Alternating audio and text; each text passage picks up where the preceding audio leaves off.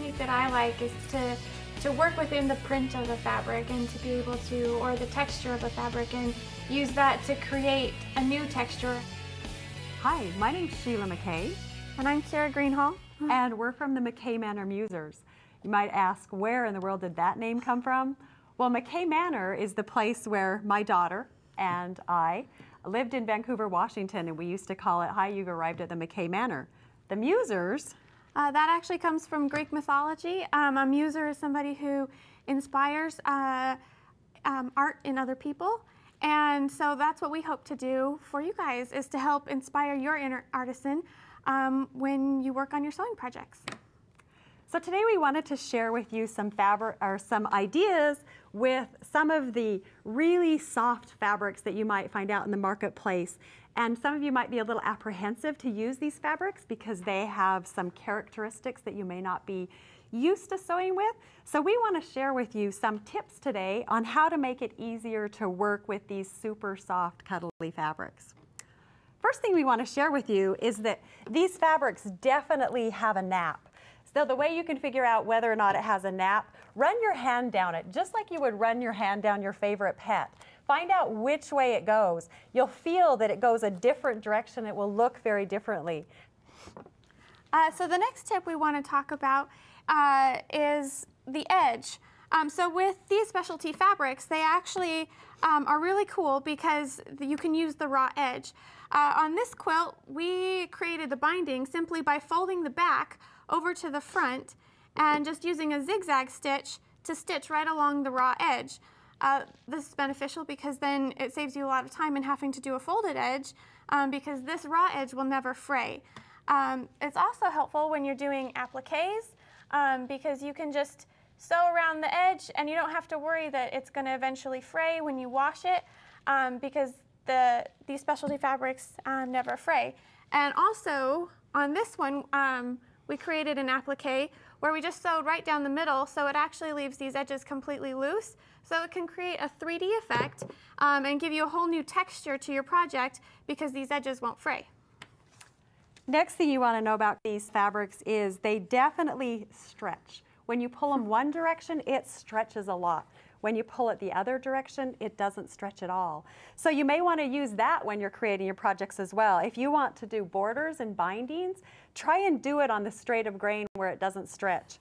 If it does stretch, make sure that when you do it, you cut the piece exactly the size you want it, and then you pin it in place to hold it in place so that when you end up with the end, your project will lie nice and flat rather than having it actually stretch and be wavy. Uh, so another tip that we've found um, when working with these fabrics is that typically cutting ends up being a huge mess uh, because it creates what we like to call this little cuddle dust that goes everywhere and you'll end up getting it all over your clothes and in your hair. Um, so we found that it's great to use um, a vacuum to have just a little portable vacuum that you keep next to you so when you're using your rotary cutter and you're uh, cutting all of your, your strips or whatever pieces you're making, um, that you can just use a vacuum to suck it up right after you cut it. Um, uh, otherwise, your house will look like mine and it will be completely covered in dust. Another thing, it's definitely really fun to use fusible applique when you're doing the projects.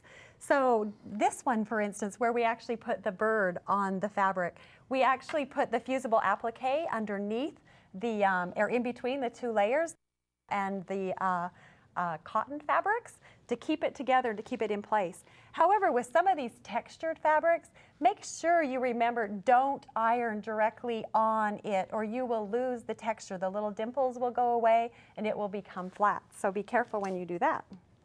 Uh, so another tip, um, when you're cutting fabric, after you finish cutting it, you may want to spray it lightly uh, with some water and then toss it in the dryer and that will help get any of the extra cutting dust off of it so that it uh, doesn't end up getting all over your project or all over your house. Um, and also just be aware that some of the fabrics that have a texture, uh, it's, not, it's not advisable to necessarily put them in the dryer. Uh, so just make sure you know which ones you're working with because some of them it's just perfectly fine to put in the dryer, but some of them you don't want to ruin the texture by putting them in the dryer.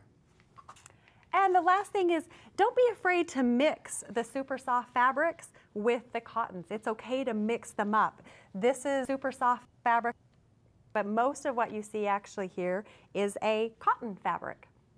So without any other ado, Kira, let's take them to a really simple project so that we can show you just how easy it is to create your first project using these super soft fabrics. Um, what we've done here is we're going to create just a very small a baby blanket that you could give away as a gift or keep for one of your favorite little grandchildren. She just had one. Uh, first thing we did is we. Oh yeah, she just had a baby. My grandchild. Uh, the first thing we would do is actually round the edges just a mm-hmm. bit. So the way I like to round edges is pick any kind of round surface from your kitchen. If you want a, a, a circle that's about this shape, just put it on there and draw a line around it. If you want a bigger one, um, use a plate. If you want a really small one, use a little tiny, uh, like a measuring cup. But the first thing you want to do is just make a round shape. With that, um, we're going to have Kira just cut the edge off. And as she's doing that, you'll want to make sure that you cut all the rounded edges on your blanket. And then when you're pinning it together, we recommend that you use long pins with uh, large heads because what you don't want to do is have that pin get buried in your fabric and then run over it with your sewing machine. So pick pins with long heads. Oh, and use really sharp scissors because otherwise it's very difficult to uh, actually cut through, cut through the fabric. What we've also found is that it um, tends to dull the, the scissors fairly quickly. So have a sharpener handy. So a few things you want to know to start with your sewing project. Uh, your needle, you're going to want a 90 uh, stretch needle to be able to use. Um, you're also going to want to use a walking foot if you have it. It helps when using um, these specialty fabrics. Also, you might want to consider when picking your threads uh, which fabric that you're that you're using. Uh, with these specialty fabrics, they they tend to uh, hide your stitches anyway because the pile is so thick.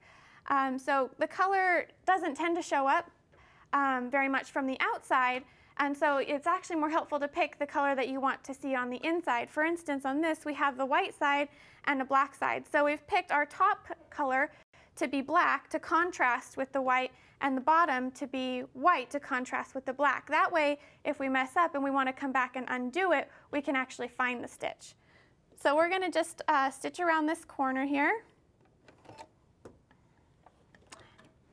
And when you're sewing with these fabrics, because the pile is so thick, it's helpful to sew at at least a half an inch uh, seam. That's what I find most helpful.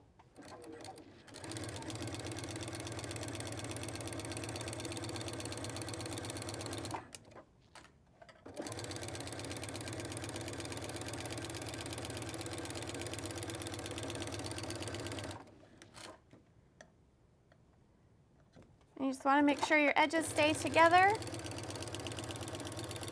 And then when you get to the side that tends to be more stretchy is the side you definitely want to make sure that uh, you have pinned really well and that you uh, stay within those pins, otherwise it's not going to line up in the end. So uh, with that, we'll move on to what it looks like when we're finished. So we're going to assume that Kira zipped right around the outer edge of that blanket, and here's how it came out. Mm.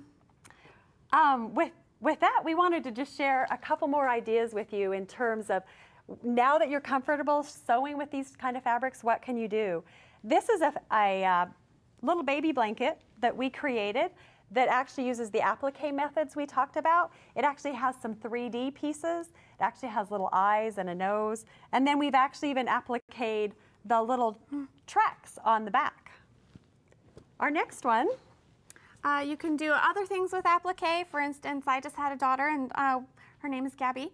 And so, uh, you know, it's cute to put a, a personalized name on it um, and make it a fun gift for somebody.